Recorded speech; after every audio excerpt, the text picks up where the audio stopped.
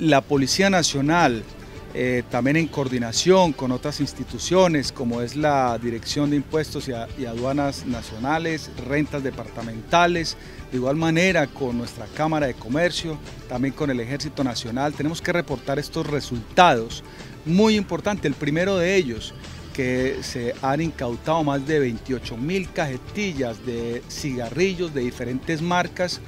de igual manera, eh, más de 2.500 botellas de licor de contrabando. Esto en la actividad preventiva, pero también operacional que realiza la Policía Nacional en diferentes puestos de control que tenemos en las entradas y salidas del municipio, pero también en algunos establecimientos al interior eh, o en las calles de la ciudad de Valledupar.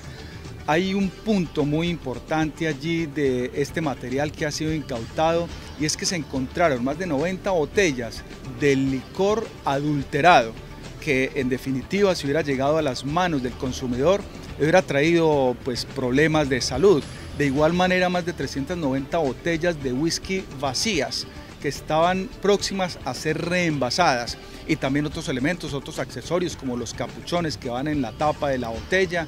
y esto pues lo que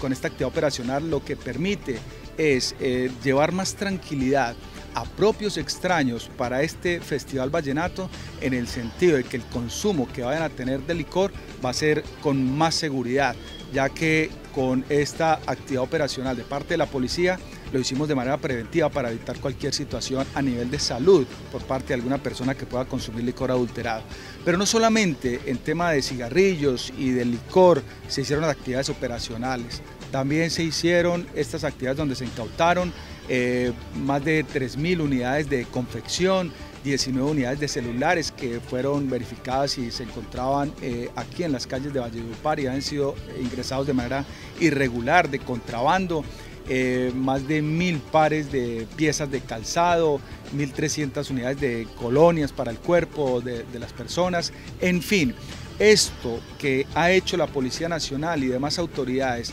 eh, durante el mes de abril previos al Festival Vallenato es simplemente para llevarle este mensaje a todos los visitantes es que la Policía Nacional está ahí con ese compromiso de corazón pero de igual manera para tener un festival seguro y en paz.